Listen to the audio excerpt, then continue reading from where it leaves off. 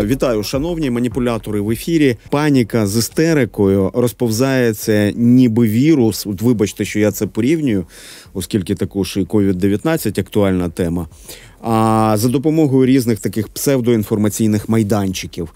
І, на жаль, все це проникає в ваші голови. А ми зараз подивимось і послухаємо матеріал на цю тему, а потім продовжимо розмову. Екс-міністр юстиції часів Віктора Януковича Олена Лукаш заявила, що відтепер буцімто всі жінки будуть військово зобов'язаними. І не тільки жінки, а навіть діти. Мы уже ознакомились с тем, что все женщины будут военнообязанными, все работодатели будут оштрафованы, если женщины не принесут воинские билеты, ну и так далее, но добрались до детей. Це не так. Стосовно жінок, законом визначений перелік професій, які повинні будуть стати на облік. Ба більше днями президент Зеленський у відповідь на петицію звернувся до Міноборони із пропозицією суттєво скоротити цей список професій, представниці яких підлягатимуть військовому обліку. Добрались до стариков, добрались до всех под елочку. Вот они выпустили это постановление. Касается оно уже всех. Под него подпадают граждане до призывного, призывного, военнообязанные, резервисты и иные категории граждан, которые а, будут иметь желание приобщиться к этой программе национального до, до сопротивления. Олена Лукаш сама ж заперечує свої слова. У постанові справді вказано інші категорії громадян, але стосується вона лише тих, хто виявив бажання доєднатися до національного спротиву. А отже, йдеться про добровільне долучення. Світлано, ви вже стали на військовий облік? Всіх всіх жінок кажуть, бути будуть брати на облік. Ну і подальші угу. якісь будуть дії пов'язані із війною відбуватися. Ні, я ще не ставала на військовий облік, але які звучало у вашому сюжеті, не хочу поспішати, допоки можуть бути певні зміни, і допоки власне військомати здається не до кінця ще проінформовані про те, як власне жінкам ставати на облік і які професії будуть. Хоча я за освітою економіст, відповідно є у тому переліку професій, але зачекаю на остаточні зміни. А до речі, окрім жінок, ідеться і про те, що добрались до добрались до дітей, добрались до старіків. Це відповідає істині? Звісно, не відповідає істині. І Справа в тому, що от е, пані Олена Лукаш вона позиціонується як юрист, і От нібито на тому ефірі, який був у вас у сюжеті, е, вона посилається і на постанову Кабміну із порядком організації та здійснення загальновійськової підготовки громадян України до національного спротиву. Але далі ніж на перші два пункти вона вона цю постанову не прочитала.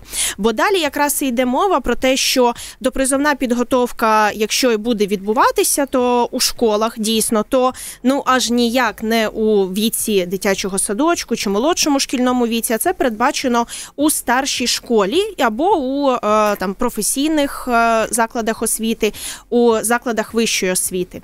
Е, але давайте подумаємо, а чи справді це таке критичне нововведення, бо я готуючи готуючись до ефіру, згадала, що насправді у школі ми вивчали деякі елементи захисту вітчизни, підготовки до е, можливої військової служби. Так, звісно, акценти на цьому були для хлопців. Це допризовна підготовка юнаків, але дівчат навчають, наприклад, як надавати першу медичну допомогу або як діяти в екстрених ситуаціях. Тобто, але, вибачте, враження... але ви знаєте, вас може вам можуть закинути, що це Україна так мілітаризує дітей, починаючи з дітей. А я згадаю, даруйте радянські uh-huh. часи з вашого дозволу. Та там оця військова підготовка була з першого класу. Нам, знаєте, батьки шили такі гімнастерочки, клеїли пагончики, і кілька місяців було, була підготовка в шкільних коридорах. А така муштра марширували, співали військових пісень з макетами зброї, між іншим. Це називалось праздник пісні і строя. І це кожного року це дійство відбувалося як карнавал в Бразилії свого часу, але мілітаризований. Та і до нього довго готувалися. А в старших класах у нас в школі був тир, і нас от Олена Лукаш із жахом каже. А дітей будуть ознайомлювати із стрілецькою зброєю. Так, от в радянські часи шкільний тир, дрібнокаліберні гвинтівки, з яких ми щотижня стріляли. НВП, а навчальне на початкове військове навчання. Так а а потім виїздили на справжні полігони, де діти стріляли з автоматів Калашникова. Я я чому згадую радянські часи, тому що от у всього цього путінського світу А у них же ностальджі за за всім радянським, правильно? Да, абсолютно з вами погоджуюся, що дуже часто лунають тези, які створюють ностальгію за радянським союзом. Мовляв, все тоді було краще. Щодо того, що нібито Україна мілітаризує навіть е, дітей, то е, Давайте от уважно слідкувати у цьому випадку за висловлюваннями тих, хто представляє проросійські сили, зокрема от представників екс-влади часів Януковича. Вони пов'язують це із останніми роками, тобто усім тим, що відбулося після революції гідності, це із владою Порошенка, із владою Зеленського. Але ж та сама допризовна підготовка була у школах і ще до того. Тобто, весь час так чи інакше потроху школярів вчили. Зараз нововведення полягає в тому, що буде зокрема окремий предмет захисту країни. Хоча знову ж таки у деяких школах був, е, був і раніше предмет захист вітчизни.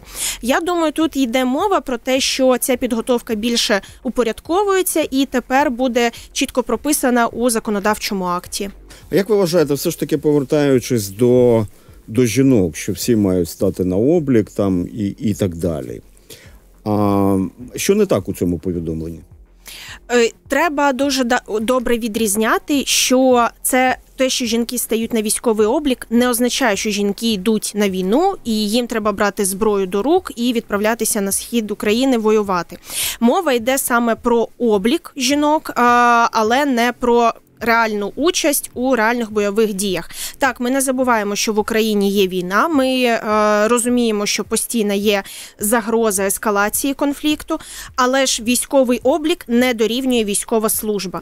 Паніка, яка була посіяна у суспільстві з моменту, як почала працювати ця постанова, вона була виник, вона виникла саме через ось це нерозуміння різниці між обліком і власне службою. І, попри численні заяви роз'яснення Міноборони і інших держустанов, установ. На жаль, ось ці емоційні переживання і паніка, яка була посіяна, вона досі переважає і досі немає об'єктивного розуміння, що мова йде про облік, а не про службу. Світлано в цьому коментарі Єлени Лукаш. Де йдеться про порядок, про основи національного спротиву, так так. Е, це затверджено ну, Міністерством оборони є розпорядження, угу. є порядок, затверджений Кабінетом міністрів, і власне сам закон про національний спротив. Так? А що стосується жінок, дітей і старіків, в цьому присутні ознаки маніпуляції? Безумовно, згадка про те, що е, до національного спротиву будуть залучати навіть е, дітей і старіків. Це безумовно тиск на те, що може найбільше зачепити певну аудиторію. Е, якщо також послухати повну заяву Лукаш, з якою вона була в ефірі каналу Наш, вона каже: Я сама мама, у мене є діти, і мені власне от не подобаються такі зміни. І вона таким чином. Е, себе наближує до аудиторії. Вона намагається стати для них найбільш переконливим персонажем, щоб їй найбільше повірили. І е, тут варто просто розділити між собою, що відбувалося останнім часом із цією військовою службою, військовим обліком жінок і національним спротивом.